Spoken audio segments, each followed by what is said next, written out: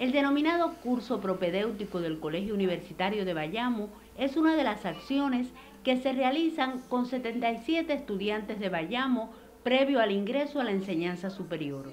Esta modalidad propicia el interés por carreras deficitarias como ingeniería forestal, ciencias básicas.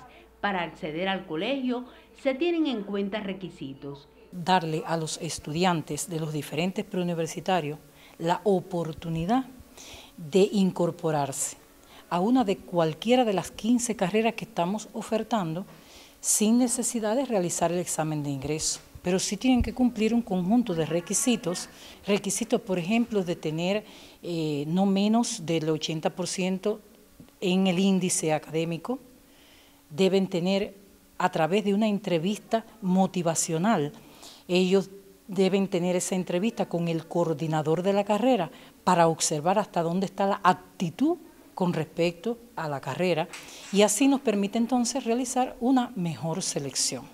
Diversas actividades realizan en la formación vocacional desde los jueves en centros laborales afines a la especialidad hasta la preparación integral. Estamos desarrollando el curso propedéutico que le facilita a los estudiantes la independencia cognitiva, la autogestión para el aprendizaje y en definitiva ya cuando ellos comiencen allí han recibido un conjunto de actividades como por ejemplo aprender a aprender, infotecnología, el inglés.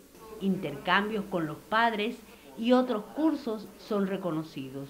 Como padre de, de alumna, muy contento de la carrera que haya obtenido y con el trabajo que está haciendo el grupo de profesores aquí. Este colegio pedagógico me ha sido eh, útil para fomentar el amor que yo tenía por la carrera de licenciatura en educación primaria, además para obtener una previa preparación para el ingreso a la universidad el 18 de abril. Los colegios universitarios son una modalidad que apuesta por la formación integral de los futuros profesionales. Teresa Armesto en directo.